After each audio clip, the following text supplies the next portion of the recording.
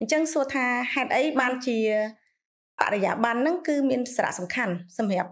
ជាពិសេសកិច្ចការពារធនធានធម្មជាតិក៏ដូចជាហៅយើងហៅថាការអភិរក្សទៅលើធនធានធម្មជាតិនៅក្នុងប្រទេសយើងក៏ដូចជានៅក្នុងតំបន់យើងដឹងហើយថាធនធានធម្មជាតិមិនថាទឹកដីភ្នំឬក៏ព្រៃឈើអ្នកដែលរស់នៅក្នុងតំបន់ទាំងអស់ហ្នឹងគឺប្រជាជនបងប្អូនជនជាតិដើមភាគតិចគឺជាទូទៅគឺគាត់រស់នៅតំបន់ ព្រៃភ្នំហើយនឹងតំបន់ដែលសម្បូរទៅដោយធនធានធម្មជាតិទាំងអស់អញ្ចឹងពួកគាត់គឺជាតាំងពីដើមមកពួកគាត់គឺជាអ្នកការពារយើងហៅថាជាអ្នកអភិរក្សនៅលើធនធានទាំងអស់ហ្នឹងពីព្រោះអីធនធានទាំងអស់ហ្នឹងតាមជំនឿរបស់ពួកគាត់គឺជាដួងវិញ្ញាណបលឹងជាវប្បធម៌ហើយនឹងគឺជាអ្វីដែលជាដូនតារបស់គាត់បន្សល់ឲ្យទុកមកអញ្ចឹងបើយើងសួរថា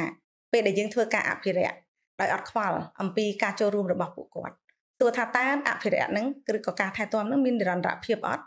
ហើយសួរថាយើងទៅពីណាបើសិនជាយើងមកឆោះពីឆ្ងាយមកឬក៏យើងទៅពីភ្នំពេញទៅធ្វើការងារទាំងអស់ហ្នឹងសួរថាតើយើងធ្វើបានដូចគាត់ដែរអត់អញ្ចឹងចំណុចហ្នឹងបងតែងតែលើកឡើងថានៅពេលដែលយើងធ្វើការងារអភិវឌ្ឍហើយពេលដែលយើងនិយាយពីប្រជាជននៅក្នុងការងារអភិវឌ្ឍយើងអត់និយាយប្រជាជនជារួមយើងមើលឲ្យកាន់តែស៊ីជម្រៅទៀតថាប្រជាជនជានរណាគេហើយពួកគាត់នៅកន្លែងណាហើយពួកគាត់ហ្នឹងជា អ្នកដែលអាចផ្ដល់អីបានខ្លះមកក្នុងការងារចូលរួមរបស់យើង